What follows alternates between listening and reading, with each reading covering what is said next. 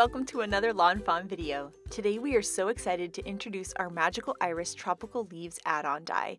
This die is so beautiful and so much fun, and it's a perfect match for our interactive Magic Iris die. So it works like our other add-ons where you can add it to decorate the opening and have a magical surprise in the center.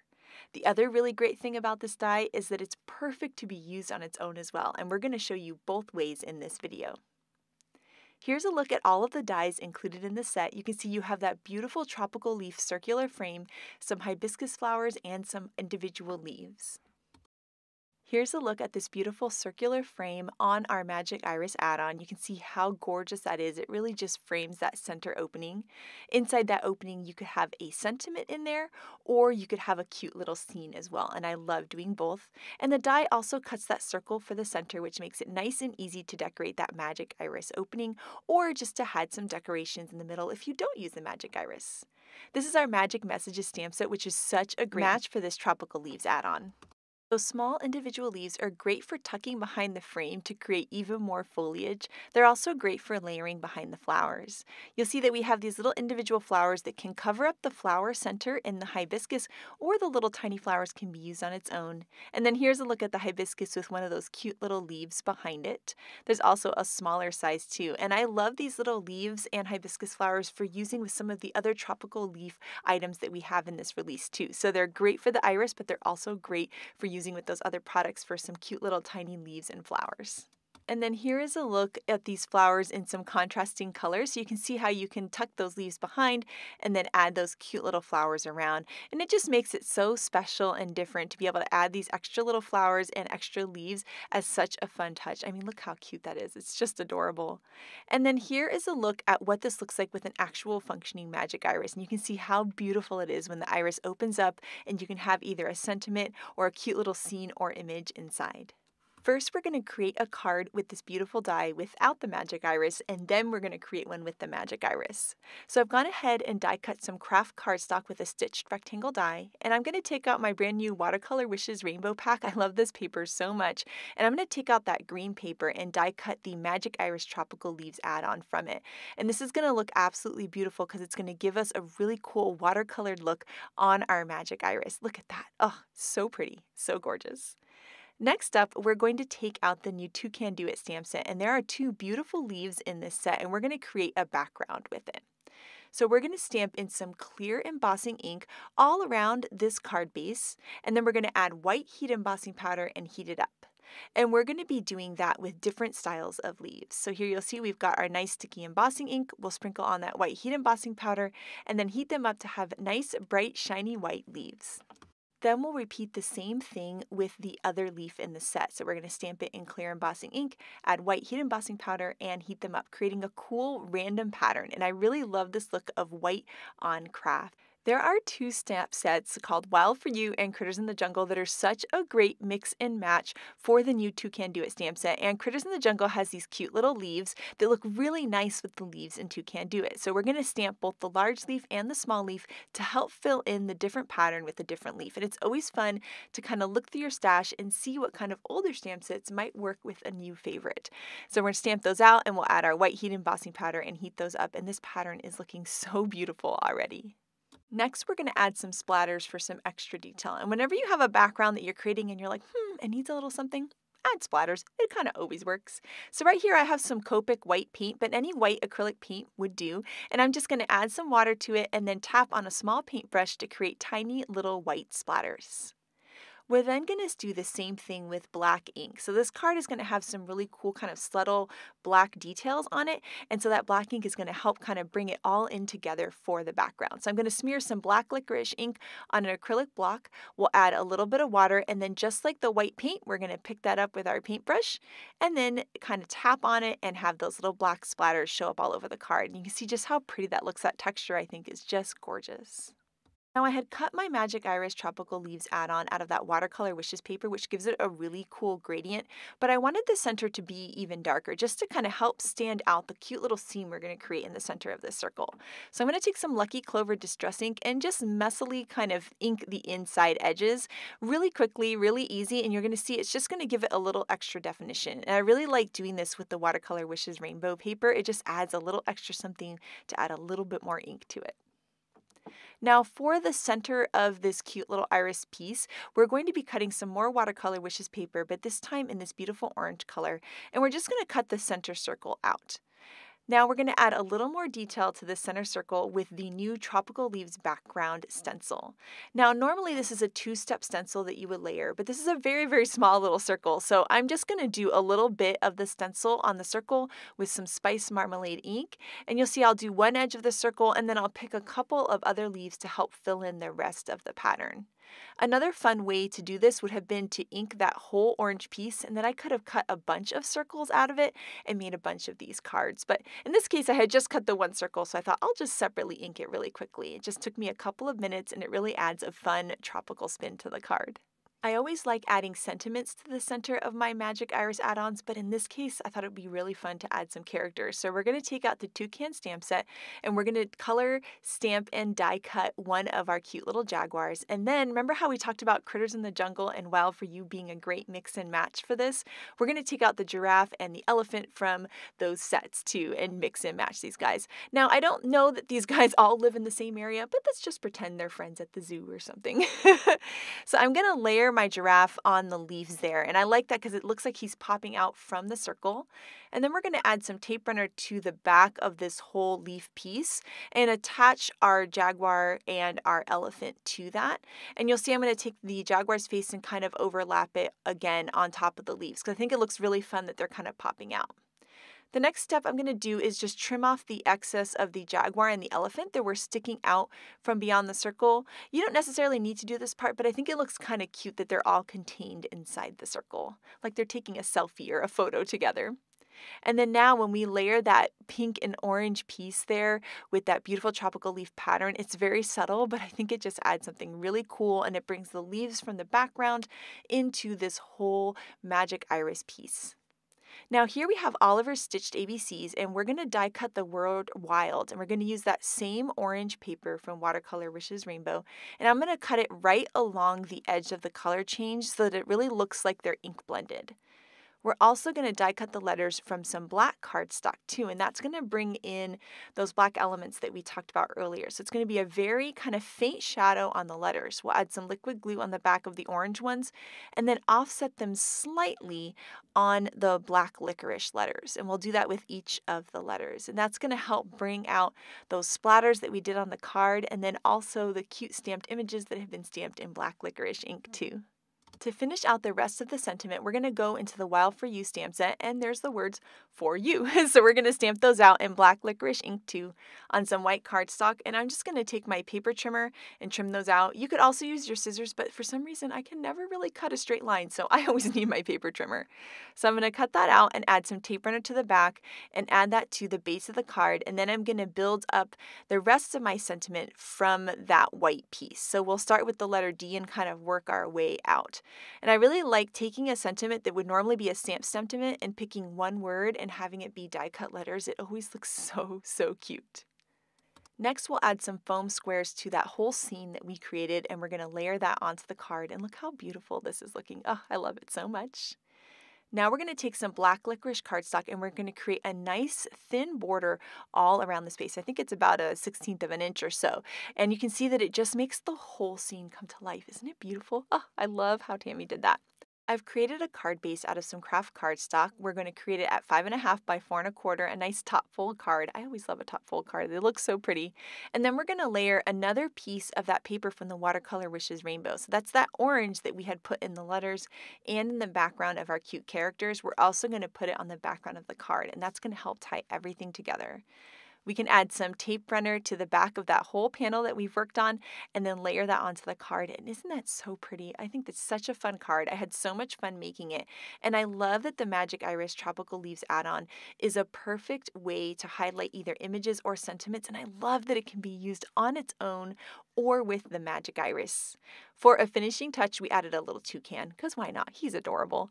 And this card is all done. I had so much fun making it, and I think it's so much fun to use these Magic Iris dies with and without the Magic Iris. But next up, Chari is going to show us how to create something really, really cool. So take it away, Chari. Today I'm going to be making a Magic Iris card using the new Magic Iris Tropical Leaves add-on. I'm going to be cutting this from that lighter green of the Watercolor Wishes. This is the original Watercolor Wishes paper collection.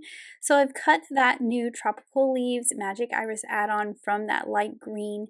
And I'm also going to be cutting the sausage pieces or the inside pieces that move of the Magic Iris from that same green. That way when the iris is closed, it is green all in the center of this. I also kept the centerpiece that cut out of this circle and that's going to be where my sentiment goes.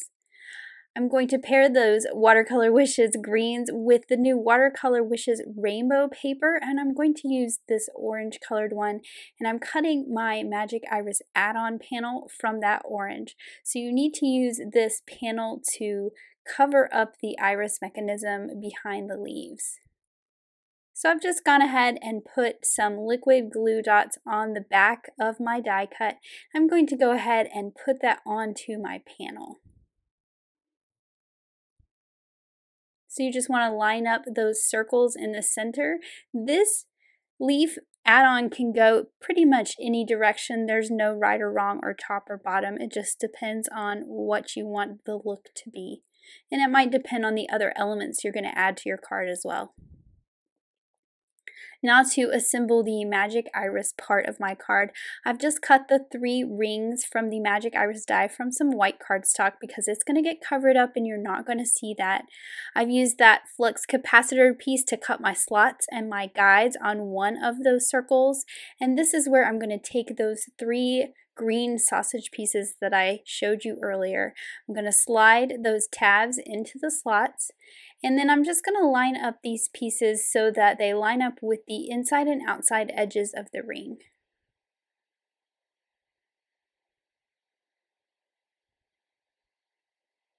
Now I can add my glue dots to those little X's on the ends of each of those pieces. And you want to make sure that you use the mini glue dot size. This is the correct size to make the iris work properly. I really like these because they're individual, they're easy to attach. So you just want to put one dot on the end of each of the three sausage pieces that are going to move on the inside of the iris. And once I've got that dot on each of those little X's, I can make sure those sausage pieces are lined up with the inside and outside of the ring.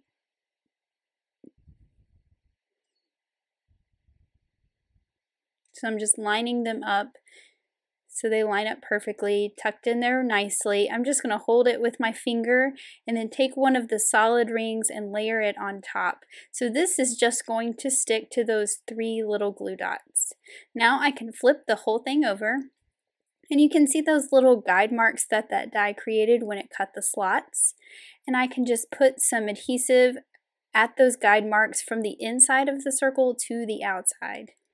This is where my stabilizer pieces are going to go.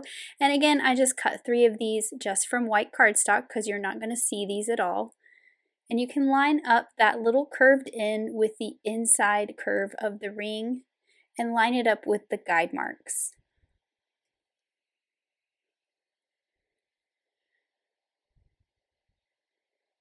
Then I can flip my mechanism back over and I like to put it with one of those stabilizers pointing straight down and that gives me a guide to put my little handles. So I'm putting some adhesive runner and I also like to put a couple dots of liquid glue because once it dries then it's really sturdy on this ring.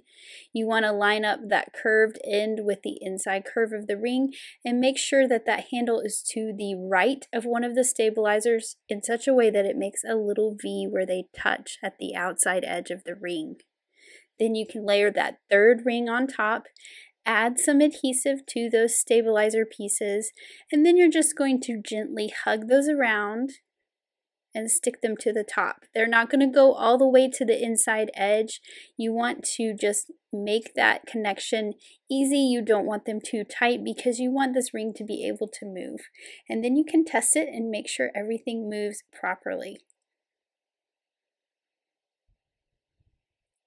So now that my magic iris interactive piece is complete.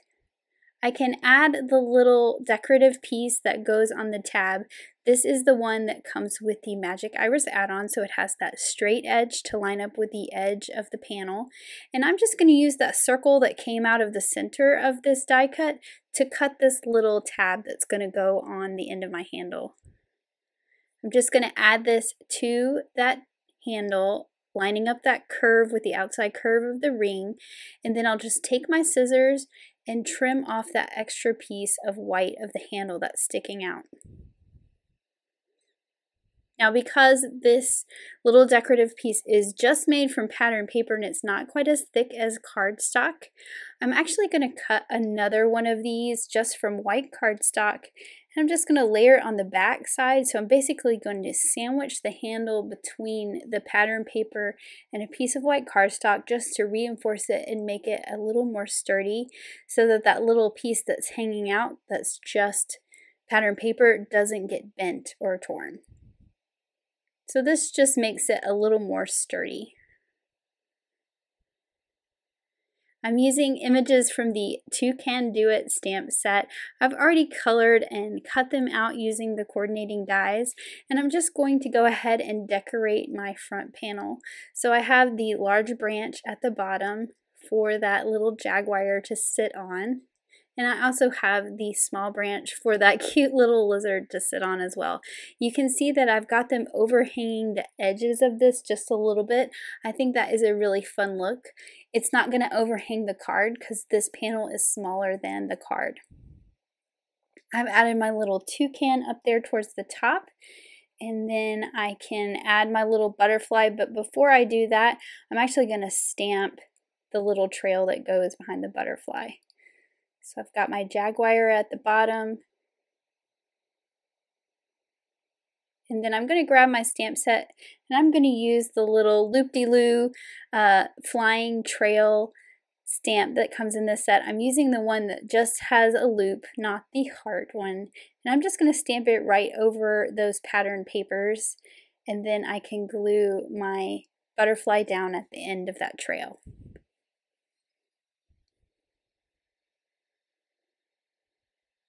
So for my sentiment, I'm using one of the magic messages. I really like this Hello Sunshine because I like the way it fills the circle very well. So that's the one I'm using for the inside of my magic iris. And then I'm going to go ahead and put this magic iris onto the back of this panel.